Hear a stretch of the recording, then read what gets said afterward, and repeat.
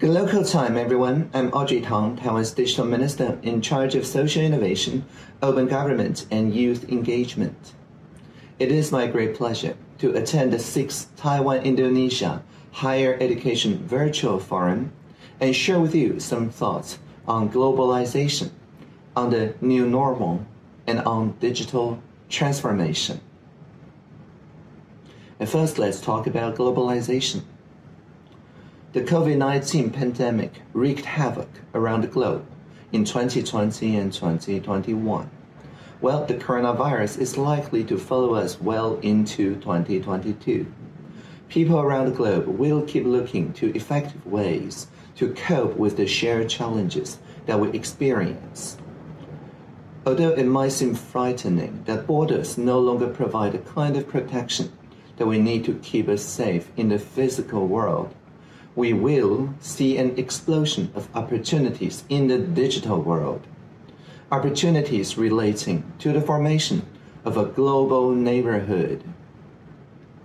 As the erosion of the traditional concepts of countries, nations, and states accelerates in the digital world, the idea of neighborhoods based on shared values is flourishing. We have already seen examples in the past couple years, such as the hashtag Milk Tea Alliance. This is a collaboration of pro democracy citizens that originated from a meme depicting many jurisdictions around East Asia holding up their respective popular drinks, such as Taiwanese bubble tea, in solidarity. Well, 2022 will see continued evolution toward a generation where distance is no longer measured in meters, but rather in terms of the experiences one shares in common with other people and other groups.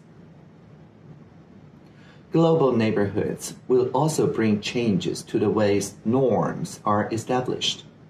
Indeed, we will find ourselves in a world where the establishment of social norms is no longer monopolized by governments or multilateral organizations. Decentralized, non political, non state actors will play critical roles in this. Taiwan's digital democracy can be seen as a precursor in this regard. On the country's online platform, join the gov.tw, anyone can file a petition there's no need to be affiliated with any particular political party. Twice a month, petitions that gather 5,000 signatures are met with face to face collaborative meetings across related ministries to explore ways to incorporate them into policy making.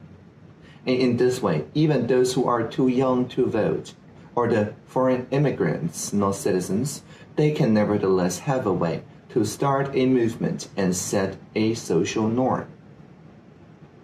Now, technology will be used even more widely to facilitate crowdsourced policy making. Governance models based on what I call people public private partnerships are said to be the key to government transformation.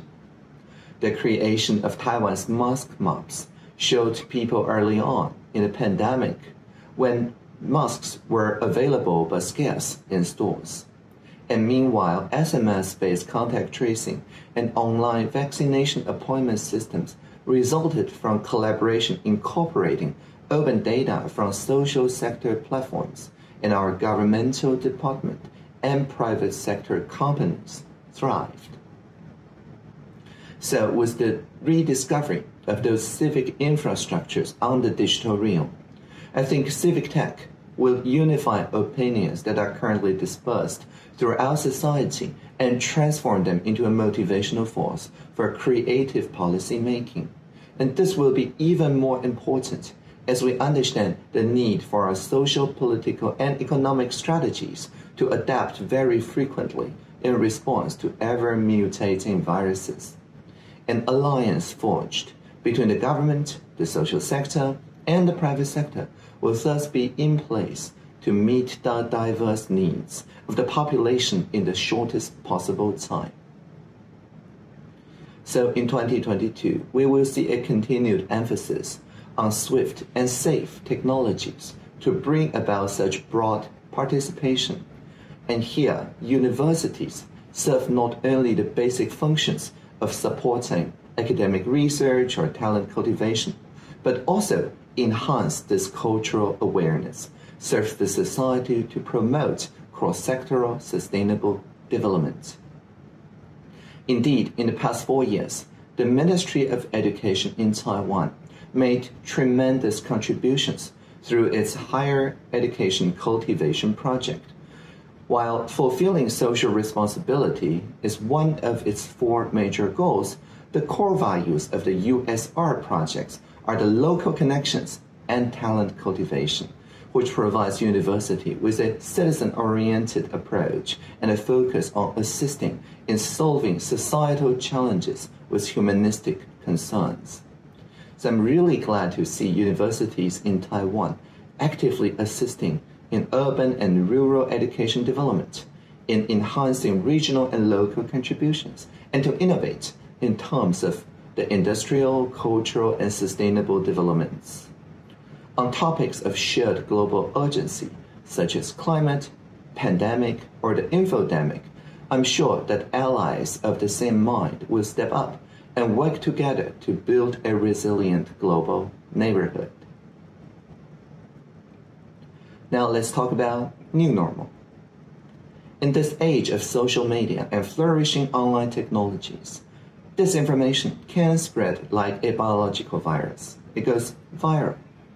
In pluralistic democracies such as Taiwan, disinformation poses a particularly complex challenge because anyone armed with a smartphone and basic editing tools can take part in its dissemination. And that truly defines the new normal for many people around the world. Prior to the pandemic, though, Taiwan had already been cited as the country most exposed to disinformation operations, aiming to destabilize our democracy, society, and governmental institutions in order, I guess, to impose a certain brand of authoritarianism. For example, during the anti-ELAB protests in Hong Kong, a trending message in 2019 made its rounds across Taiwan's social media landscape, attempting to portray the Hong Kong protesters as so-called rioters who allegedly were paid some $20 million to murder members of the police. That, of course, was a gross misrepresentation of the protesters' mission. However, the intention of the campaign was clear, is to lessen the influence of the anti-ELAB movement on the Taiwanese presidential election. Well, the message was actually trending early on Taiwanese social media because the citizens in Hong Kong would have easily seen through this veil of disinformation. So the message was not meant for a Hong Kong audience but for a Taiwanese audience. According to Taiwan Fact Check Center, this piece of disinformation was traced back to a Weibo account named Chang'an Jian. They had created the original fabrication by misusing a Reuters photo, attempting to paint the image as a depiction of teenage protesters engaging in some violent activity simply over the purchase of some iPhones. And then the second level remixers then built on the image by creating more supporting narratives. In Taiwan, we take a notice and public notice approach. So citizens who share the initial message soon discovered the origin of the fabrication through fact-checking labels. And this successful attempt did counter that wave of viral disinformation by building immunities, vaccination of the mind. Taiwan faces such disinformation campaigns on a daily, indeed hourly basis, and this trend had been further exacerbated by the coronavirus pandemic as part of our new normal now.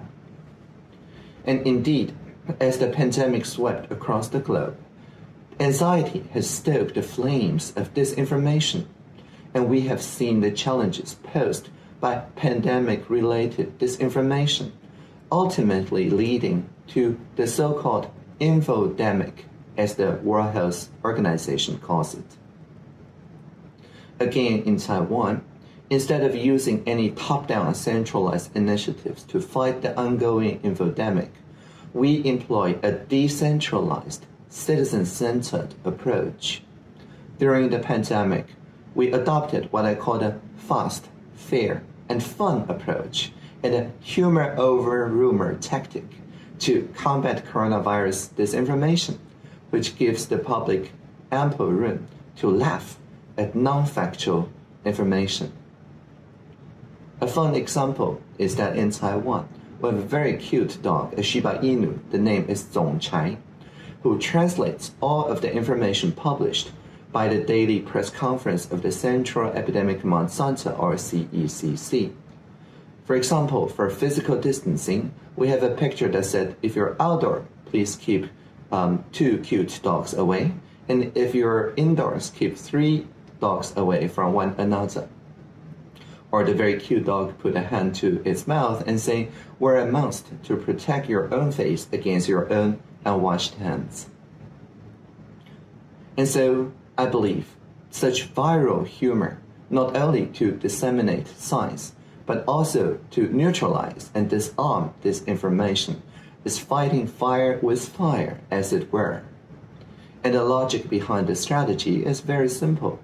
Any approach that begins with governmental censorship face extensive resistance because in a pluralistic democracy, any communication from the state that looks like a takedown or a censorship is simply a political non-starter. And therefore, we need to think of innovative ways to outrun and outpace the conspiracy theorists and disinformation campaigns. Most disinformation is motivated by outrage, which is one of the most viral emotions. But outrage often leads to revenge, to discrimination, to the beginning of hate speech, rendering people's capacity for empathy null and void. And when people start sharing stories with mindless abandon, then we have the real problem of an infodemic on our hands. So, because of this, as I mentioned, we need to vaccinate ourselves against this virus of the mind. We now realize that humor has a very high R value and has the capacity to spread even more dramatically than outrage, as proven quite effectively in Taiwan. So far, we have succeeded in containing the infodemic without censorship and without any pop down takedowns. And personally, I believe a single piece of disinformation cannot get everybody enraged if people are competent in critical and creative thinking. It is just like biodiversity. It's harder to um, find a biological virus that can take hold if there is ample biodiversity in the ecosystem. And the same idea holds for democracy. So in Taiwan, in both basic and higher education, we put an emphasis on media competence, 媒体素养, instead of just media literacy or 媒体识读.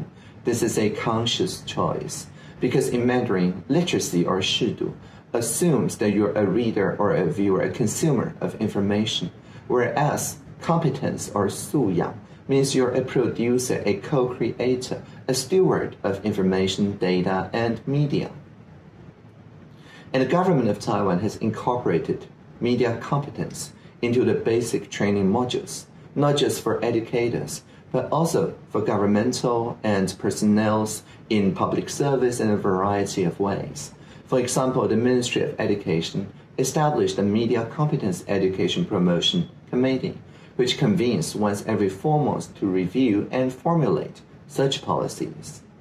And we are putting efforts in building related core competences among students for example, the middle school students can and do fact check the three presidential candidates during their platform and debates.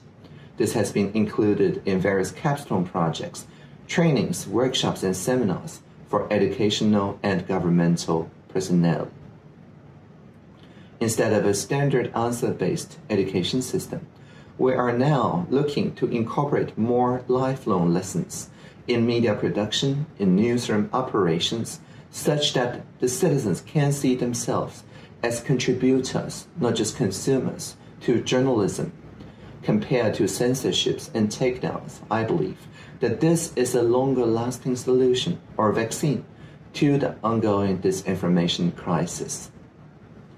Taiwan's resolve to combat the new normal of online disinformation stems from our grounding as one of Asia's most open societies. In addition, I would also say that Taiwan takes freedom of speech extremely seriously, regarding it as a right that cannot be traded in any shape or in any form.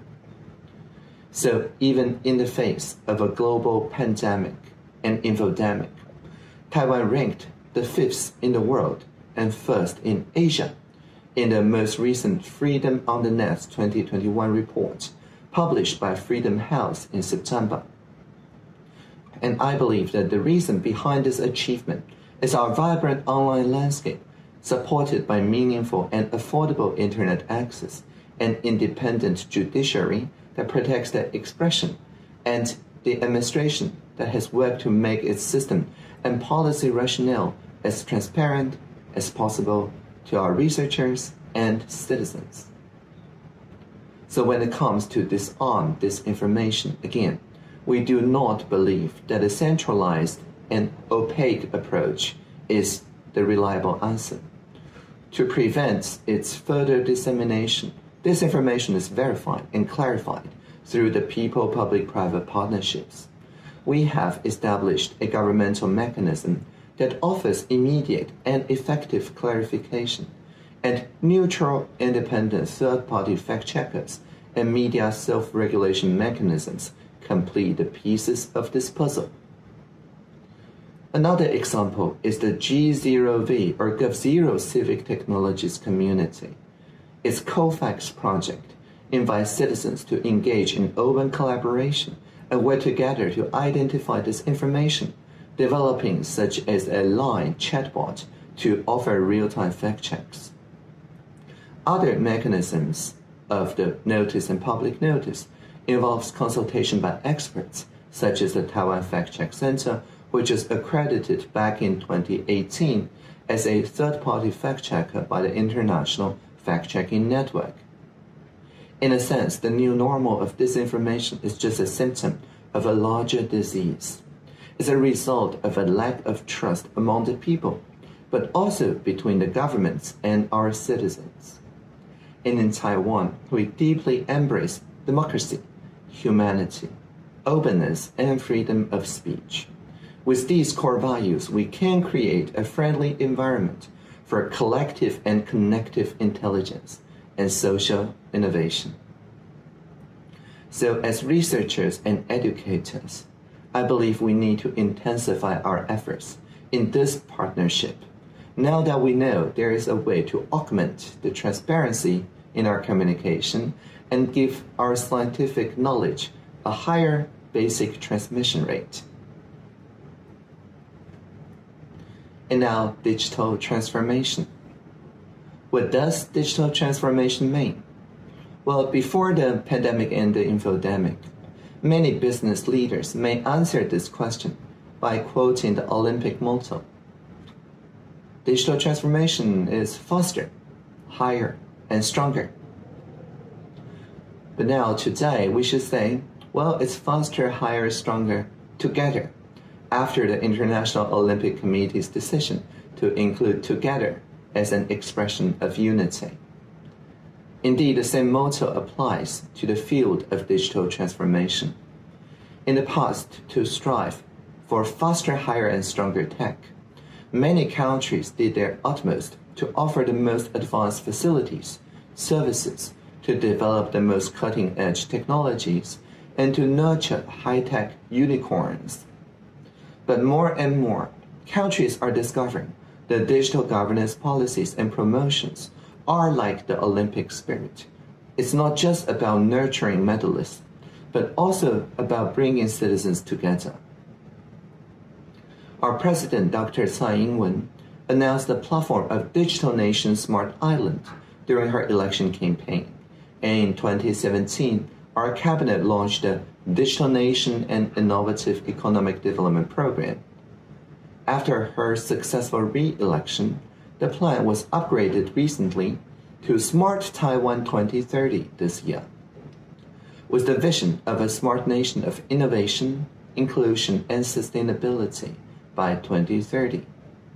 And this vision of Smart Taiwan 2030 reveals a renewed commitment for digital governance policy to be pluralistic and inclusive, with sustainable development at its goal.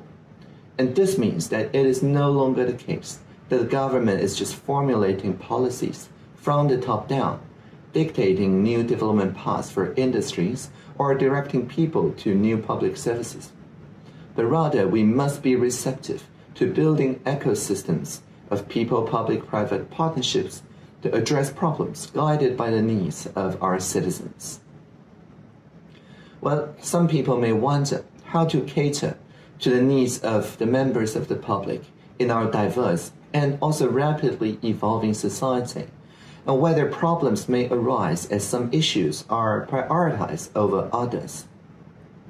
But we just need to look back at the history of digital development. We can see that the internet was not created by a single organization, nor by a single country setting standards. It's actually by the citizens of the internet of all stripes scattered around the world, working together to establish a network that connects people to each other. And on this shared system, the internet pioneers engaged in an iterative problem solving process of inventing new protocols according to their own needs before gradually forming the internet as we now know it. Of course, the internet is now indispensable for social, economic, and political activity in every corner of the world, and it's still in a constant stage of evolution as the needs of the citizens change. And indeed, in a pluralistic society, citizens' needs are ever shifting. And regardless of whether governments are willing to address them well, there will always be people willing to tackle new problems with their own digital social innovations. So a smart national governance policy for digital transformation should not be designed to dominate or prohibit those civic tech attempts, but to find ways to align with them, which I believe is the first aspect of digital governance. It's about alignment.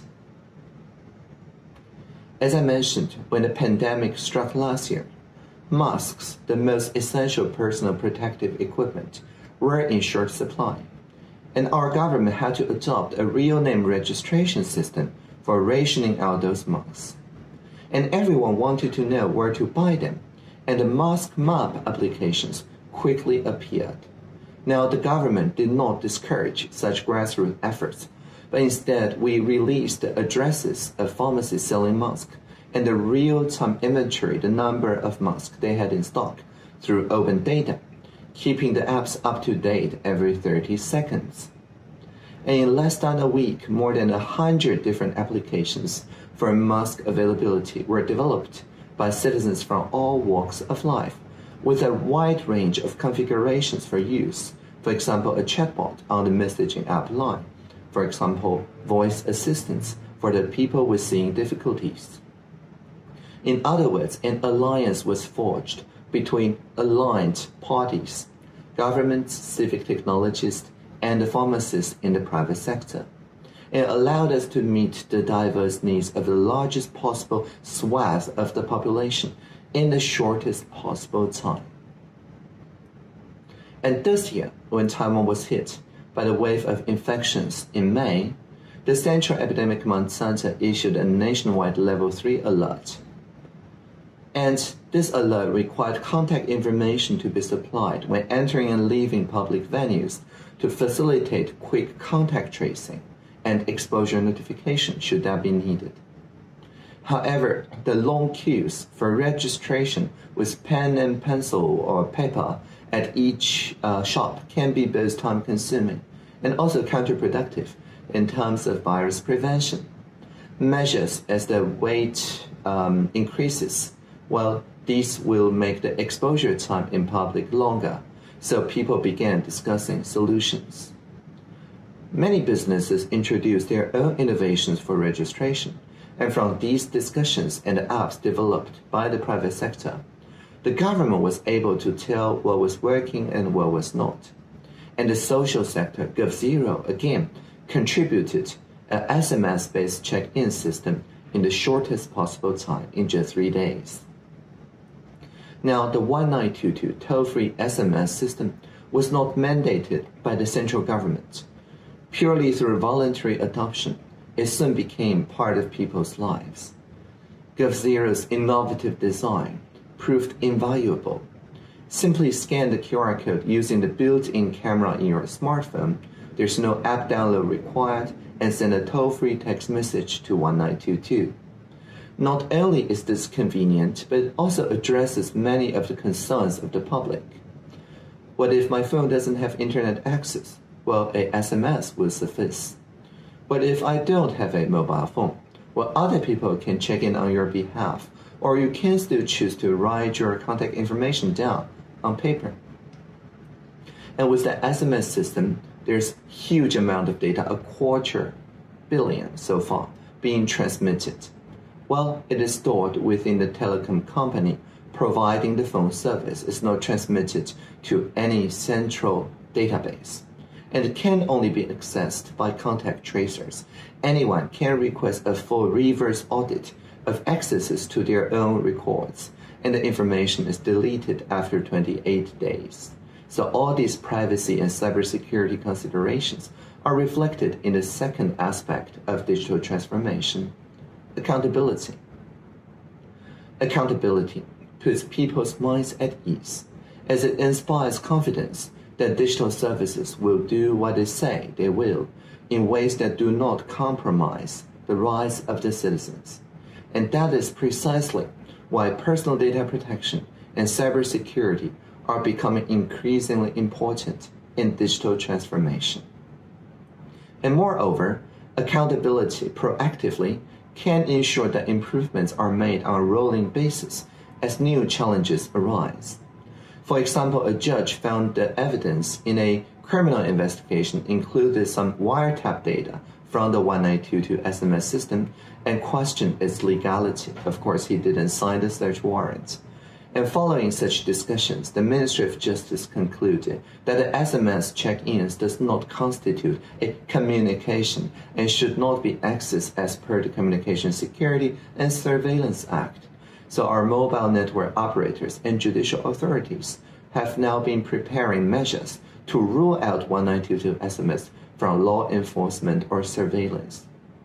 So following this interpretation, specific measures have been taken by the telecom companies to preclude communication surveillance system from accessing any related data to contact tracing. So as a part of digital transformation strategy. I believe this sort of accountability is both, of course, to allay concerns and provide peace of mind, but it's also active in the sense that it makes the results of people public private partnerships a accountable reality. For example, our presidential hackathon, which is entering its fourth year, also serves as an opportunity for the public sector to give an account to include the social and private sectors to work together and come up with innovative ways to use data across sectors so that we can solve the social and environmental problems together. Although this annual event of Presidential Hackathon does not offer prize money, the system designed by winning teams are assured government promotion. The team members are invited to be part of our government initiatives, and assistance from the government is offered to find opportunities also for commercial application. And as Taiwan's digital minister, what digital transformation means foremost to me is stimulation of social innovation by increasing the connections between people through technology. In other words, the emphasis is on alignment and accountability, where good ideas are taken seriously and partners can be sought out to work together, establishing a virtuous cycle that leads to innovative, inclusive, and sustainable digital development. To put it in another way, only when citizens from different sectors, fields, and roles join forces can our digital development be faster, higher, and stronger together. To conclude, I would like to share with you my own job description about digital transformation when I joined the cabinet in 2016 as Taiwan's first digital minister. It goes like this. When we see Internet of Things, let's make it an Internet of beings. When we see virtual reality, let's make it a shared reality. When we see machine learning, let's make it collaborative learning. When we see user experience, let's make it about human experience. And whenever we hear that a singularity is near, let us always remember the plurality is here. Thank you for listening. Live long and prosper.